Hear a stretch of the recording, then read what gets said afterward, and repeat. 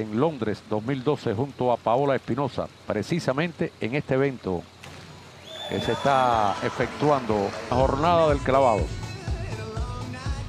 Clavado atrás, le correspondió ahora a las mexicanas.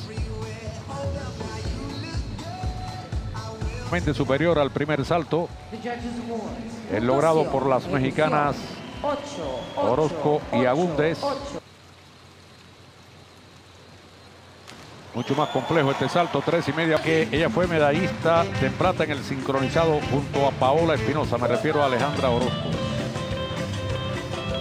Y fue oro en los Juegos Olímpicos de la Juventud Nanguín 2014 en esta prueba de la plataforma.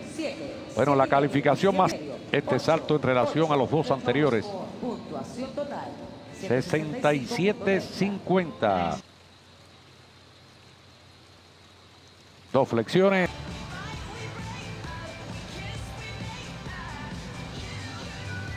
Muy bien, únicamente saditas que la otra. 78-72.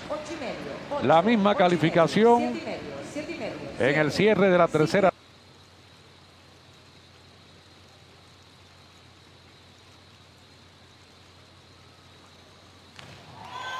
competencia. Última presentación de las mexicanas.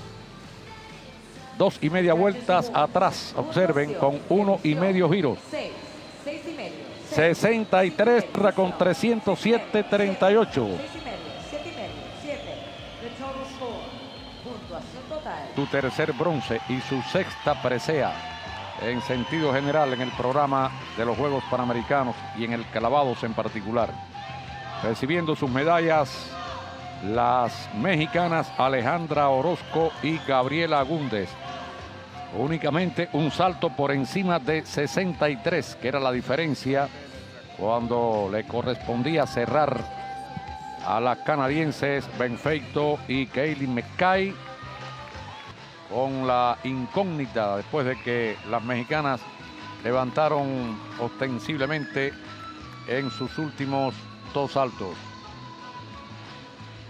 La foto histórica de los Juegos